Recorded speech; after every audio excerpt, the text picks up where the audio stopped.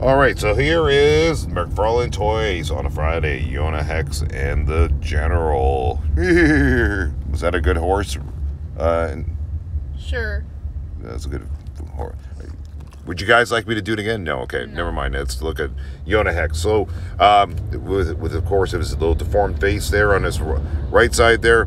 Not a bad looking figure. Like I said, I think this one would look really cool with the original, not Johnny Blaze, the original Ghost Rider Western look, right? So if you're doing a whole Western area in your man cave or your collectible area, no, where whatever you're doing, whatever you want to call it, this I think would be a nice addition, no doubt about it. So it's going for $69.99 right now at McFarlane Toys.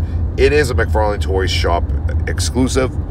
Maybe McFarlane might change his mind down the line and say, you know what, guys, let's make this available to everyone. I don't know. It's a flip of the coin, right? So I can see this one being available down the line at uh, some retailers, but let's see what happens, right? So anyway, it's available right now at McFarlane uh, shop.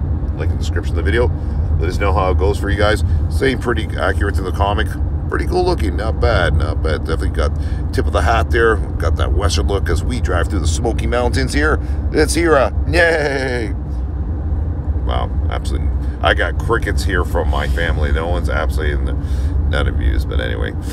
Uh, oh, oh, my, my oldest daughter just laughing. My Luna, Luna just my dog just stepped up and said that was pretty cool. Anyways, check it out, guys. Take care.